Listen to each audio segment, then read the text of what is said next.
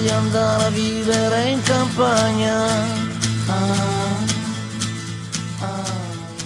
Può sembrare un paradosso per un territorio votato da sempre all'agricoltura, eppure la voglia di tornare alla terra è più forte che mai, in un contesto come quello di Taranto e provincia che ha registrato in questi anni la forte presenza dell'industria e non solo.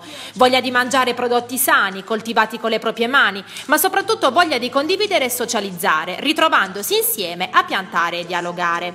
Una voglia così grande da spingere una trentina di famiglie castellanetane a fondare l'associazione Castellaneta Evolution Orti Condivisi condivisi, che ha in gestione circa un ettaro di terreno in contrada zirifico, equamente suddiviso, in cui ha preso piede il primo esperimento di orti sociali nella città di Valentino. L'associazione Castellaneta Evolution Orti Condivisi è una, un esperimento sociale. Perché dico esperimento sociale? È mettere alla prova tante persone su un unico pezzo di terra e condividere uh, quello che è la terra, quindi coltivare e aiutare il proprio vicino, che è una cosa che ormai non si fa più da tanto tempo.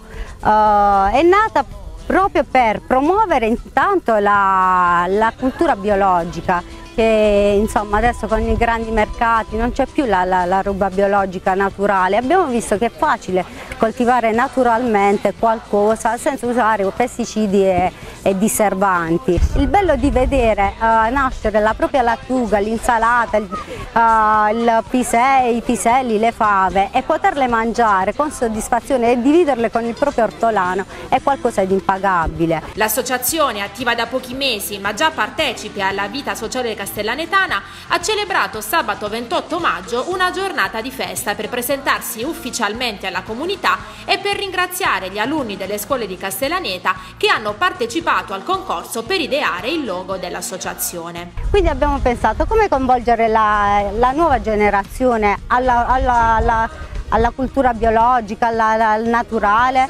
facendogli disegnare un, un logo. Quindi abbiamo indetto un concorso tra le, la scuola media Giovinazzi e la scuola media Surico dove abbiamo chiesto loro di disegnarci un logo, che è questo qui, fatto da, da due ragazzi della prima C della Surico, Marica e Federica.